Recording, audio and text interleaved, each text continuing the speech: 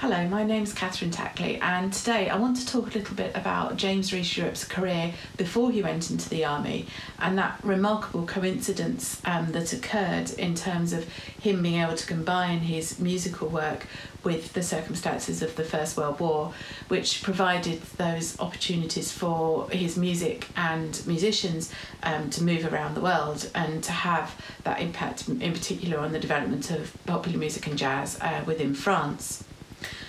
But when we look at his quite remarkable career, in fact, before he joined the army, this can help us begin to think about how jazz developed and how it took that particular place that it's held in the modern world over the past century or so. So, the story about the birth of jazz in the southern states of America, its migration north and thence across to the world, is um, perhaps a familiar one, but an element that's perhaps been lacking uh, in the coverage of this story to date is the role of the theatre in providing opportunities for black music and black musicians to develop, um, for black musicians to develop their skills, and also for them to find new ways of writing, which very much made the transition between pre jazz styles um, such as ragtime and um, later to, to jazz. The theatre also established important transatlantic um, routes and networks of artistic exchange, which, when we're thinking about jazz as a global music, was extremely important as well. And of course, the music that resulted from musical theatre from the early 20th century right through um, up until um, the, the 1940s and 50s um, really provided the bedrock of jazz alongside lots of other sources, um, such as such as black music and music derived from other uh, other traditions in the world.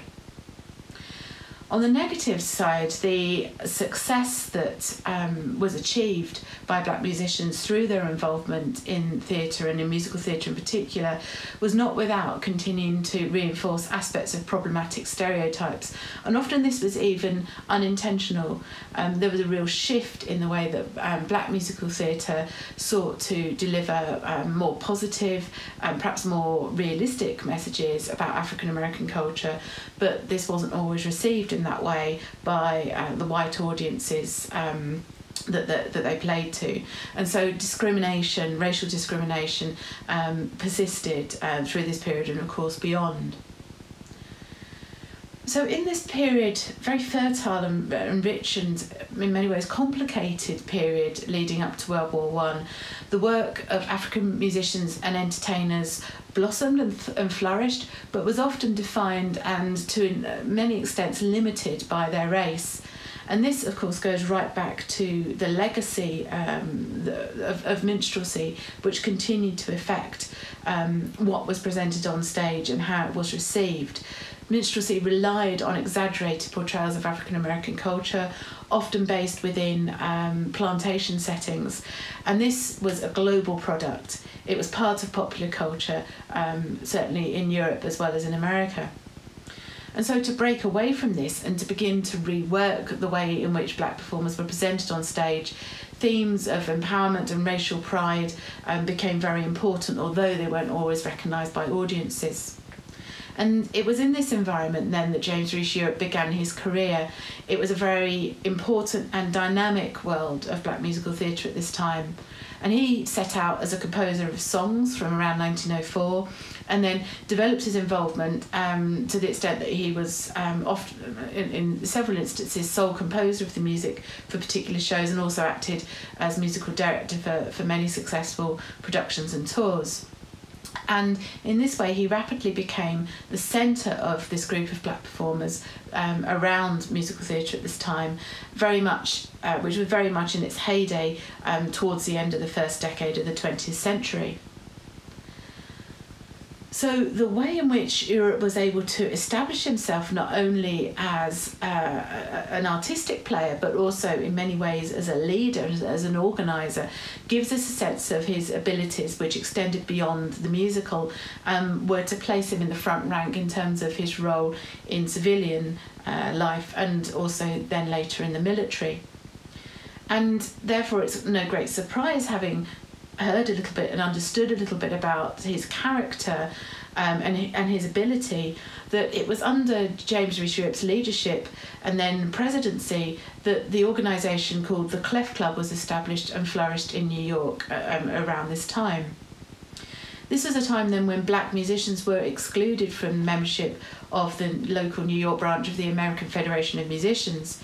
And although there were societies for professional societies for African Americans that were involved in theatrical and sort of classical music work, the Clef Club was the first to cater specifically for popular musicians.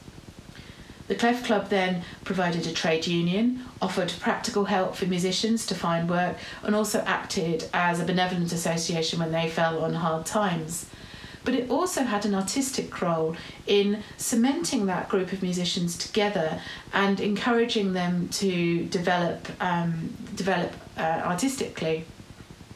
And again, James Reese Europe was at the forefront of this. He established an 100 strong Clef Club orchestra that gave several concerts, including at New York's famous Carnegie Hall, very much regarded as a sort of seat of classical music. And the implications of this were not lost on contemporary commentators. It was an important event socially as well as musically. Lester Walton then wrote in the New York Age, referring to the first Carnegie Hall concert. The concert was unique in many respects. Some of the leading white citizens sat in evening dress next to some of our highly respectable coloured citizens who were also in evening clothes. No colour line was drawn in any part of the house, both white and coloured occupying boxes.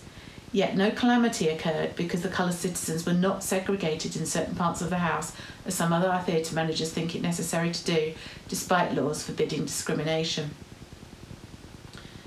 The Clef Club then was an extremely important organisation, anticipating in many ways the later importance of collectives in jazz and popular music, including those that were spe- specifically representative of African American musicians and also had a political as well as an artistic role, most notably perhaps the Association for the Advancement of Coloured Music, founded in Chicago in the 19, 1960s. So the development of the Clef Club then accompanied this rise in popularity for black entertainers, which increasingly began to extend to venues and situations outside the theatre. And next time, I'll talk about the further development of Europe's pre war career as a dance band leader.